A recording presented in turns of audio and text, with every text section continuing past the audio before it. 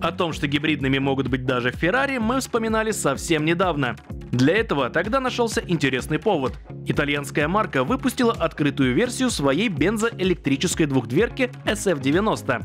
А теперь выяснилось, что исходный суперкар SF90 Страдали выходит на российский рынок. Всем, кто успеет оформить заказ до конца декабря, машину поставят за 34 миллиона рублей, а с нового года цена вырастет на 7 миллионов. За что просят такие деньги, совершенно понятно. Это самый мощный серийный суперкар из Маранелла. Его силовая установка состоит из 4-литровой турбовосьмерки и трех электромоторов. Суммарная отдача квартета ровно 1000 сил. При такой энерговооруженности машина выпуливает до сотни за 2,5 секунды, а ускорение до 200 длится меньше 7 секунд. А еще итальянка умеет передвигаться на чистом электричестве, правда только на 25 километров. И никакого плагиата. Первый подзаряжаемый гибрид марки имеет полностью оригинальный кузов, к слову, весьма элегантный. Внутри флагман выглядит тоже весьма утонченно.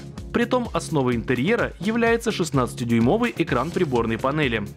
И напоследок расшифруем загадочное название. Оно объясняется чрезвычайно просто. SF90 — это 90-летний юбилей гоночной команды Scuderia Ferrari. В общем, джентльмены, срочно разбивайте ваши копилки.